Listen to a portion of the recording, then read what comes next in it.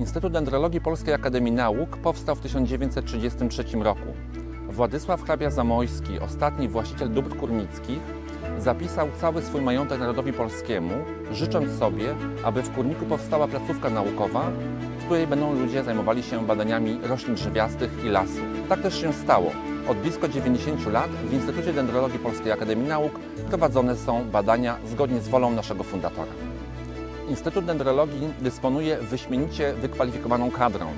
Badania prowadzimy zarówno w naszych laboratoriach, jak i w terenie.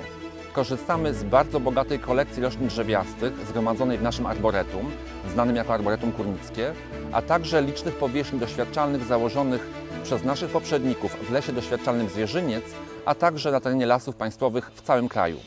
Ponadto Instytut dysponuje bogatym zielnikiem, a także specjalistycznym księgozbiorem. Uzyskane w Instytucie Dendrologii Polskiej Akademii Nauk wyniki badań publikowane są w najlepszych czasopismach naukowych na świecie, a także w formie książek. Naszą wiedzą chętnie dzielimy się poprzez jej popularyzowanie w formie artykułów popularno-naukowych czy też w formie wykładów. Zachęcam do skorzystania z wiedzy naszych pracowników, chętnie się nią podzielimy.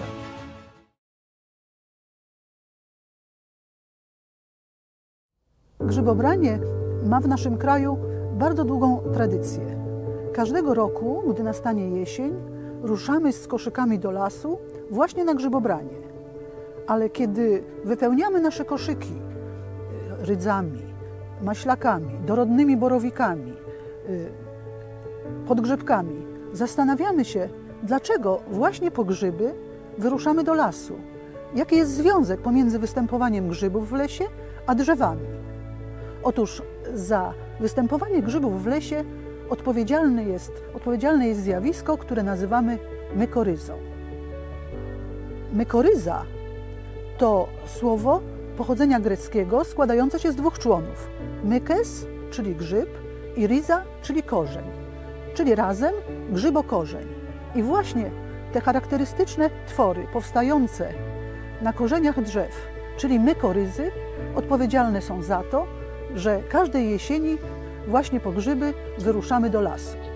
Mikoryzy, czyli te charakterystyczne struktury grzybowo-korzeniowe, powstają pomiędzy najdrobniejszymi odgałęzieniami systemu korzeniowego drzew, czyli korzeniami o przekroju nie większym niż 1 mm i grzybnią, która przerasta podłoże w lesie, ściółkę i górne warstwy mineralne gleby.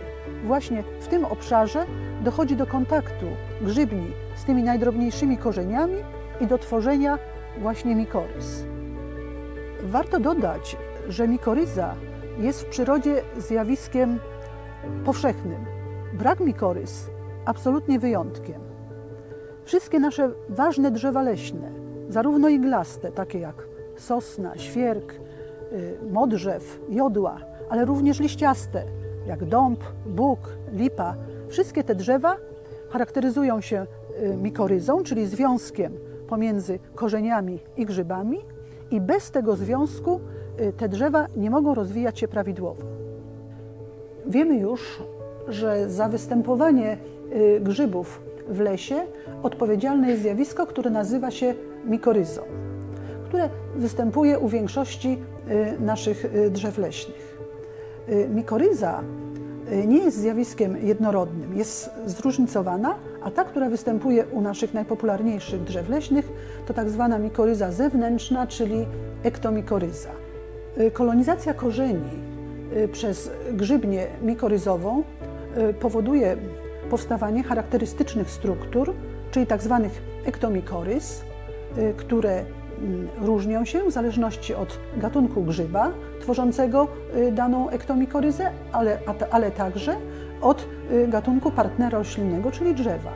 Te mikoryzy mogą mieć różne kształty, różny sposób rozgałęzienia, również różne barwy.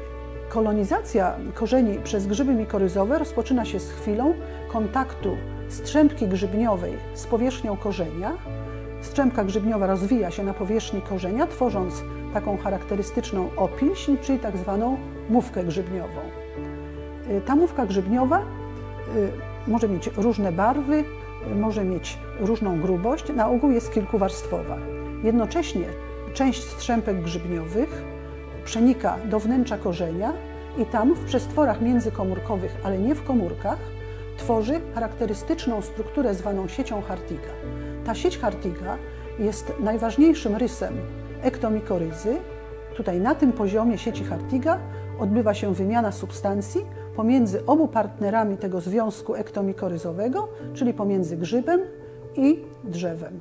Jesienią, kiedy nastąpią y, sprzyjające warunki atmosferyczne, głównie y, odpowiednia wilgotność i temperatura, od powierzchni mikorys rozwijają się, rozwija się intensywnie grzybnia, która dąży ku powierzchni y, gleby i z tej grzybni powstają właśnie owocniki, grzyby, mikory, grzyby mikoryzowe, które tak chętnie zbieramy do naszych koszyków. Dlaczego grzyby są tak ściśle związane z drzewami? Jaką rolę w tej relacji pełni symbioza mykoryzowa? Pomiędzy korzeniami drzew a strzępkami grzybni zachodzi do obopólnej, korzystnej wymiany niezbędnych substancji odżywczych. Partner roślinny, czyli drzewo, przekazuje partnerowi grzybowemu cukry wytworzone w procesie fotosyntezy. Natomiast grzyb przekazuje roślinie wodę i sole mineralne, takie jak azot, fosfor, wapń czy magnez. Rośliny tym są lepiej odżywione, co widać na wykresach. Warto również podkreślić, że mykoryzy zwiększają powierzchnię chłonną korzeni, nawet kilka tysięcy razy. Tym samym stymulują wzrost i rozwój drzew oraz chronią je przed suszą. Poza efektem odżywczym, obecność mykorys wpływa również na odporność drzew. Mykoryzy chronią bowiem drzewa przed patogenami. Rola ta jest uznawana za najważniejszą rolę ekologiczną mykorys, przewyższającą znaczeniem efekt odżywczy. Jak do tego dochodzi, że grzyb chroni drzewa przed patogenami? Przede wszystkim mówka grzybniowa stanowi fizyczną barierę pomiędzy korzeniami drzew a atakującym je patogenem. Do interakcji również może zachodzić w sferze mykoryzosferycznej, gdzie patogen i grzyb konkuruje o pokarm, czyli cukry.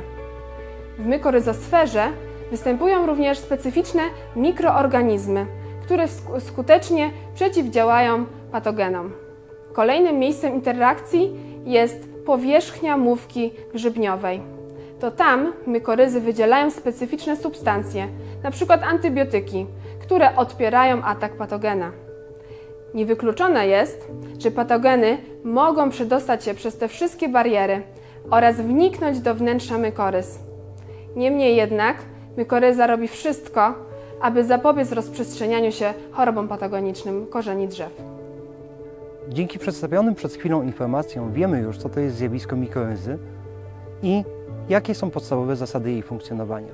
Dla przypomnienia, to właśnie dzięki temu zjawisku Jesienią nasze koszyki zapełniają, się takimi gatunkami grzybów jak prawdziwki, podgrzybki, koźlarze czy też kurki. Warto również zwrócić uwagę, że wśród grzybów mikoryzowych istnieją pewne preferencje w stosunku do partnera roślinnego. Wytrawny grzybiarz z pewnością wie, że maślaków należy poszukiwać wyłącznie pod sosnami.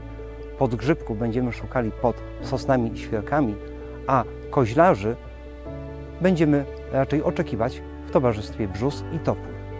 Warto również podkreślić, że nie wszystkie gatunki grzybów mikoryzowych to grzyby jadalne. Znajdziemy wśród nich także szereg gatunków niejadalnych czy trujących.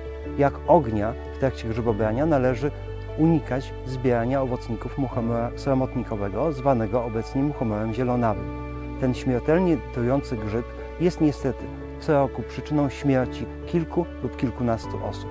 Jego owocniki są najczęściej mylone z owocnikami czubajki kani, zwanej pospolicie sową, którą także zbieramy w trakcie grzybobrania. Las to środowisko życia nie tylko grzybów mikoryzowych. W lesie spotkamy także grzyby saprotroficzne i patogeniczne, czyli takie, które żyją dzięki rozkładowi martwej materii organicznej lub też atakując inne żywe organizmy, w tym drzewa. Do takich grzybów należą na przykład dziko rosnące pieczaki, opieńka, czy też szereg gatunków zaliczalnych powszechnie do chób. Warto również zwrócić uwagę na różnorodność form i kształtów owocników grzybów występujących w środowisku leśnym. Oprócz tych klasycznie znanych grzybów kapeluszowych znajdziemy grzyby o owocnikach kulistych, jajowatych, krzaczkowatych, gwiaździstych, czy też konsolowatych lub kopytkowatych. Ciekawą grupą grzybów są grzyby wytwarzające owocniki, tak zwane owocniki rozpostrate, czyli wytwarzające się na dolnej powierzchni leżących kłód lub gałęzi. Wśród tych grzybów występują także grzyby ektomikoryzowe, na przykład z rodzaju tomentella. Są to grzyby rozpowszechnione na całej kuli ziemskiej. Pamiętajmy więc, że wyruszając jesienią na grzybobranie, nasze koszyki wypełniają się w głównej mierze grzybami, które powstały dzięki związkowym mikroryzowaniu z korzeniami drzew. Nie byłoby więc naszego grzybobrania, gdyby nie obecność drzew w lesie. Należy również pamiętać, aby zbierać wyłącznie te gatunki, których jesteśmy pewni, czyli gatunki dobrze nam znane i jak ognia unikać gatunków niepewnych lub trujących. Być może dzięki temu unikniemy przykrych konsekwencji w postaci zatruć lub niestety czasami zdarzającej się śmierci.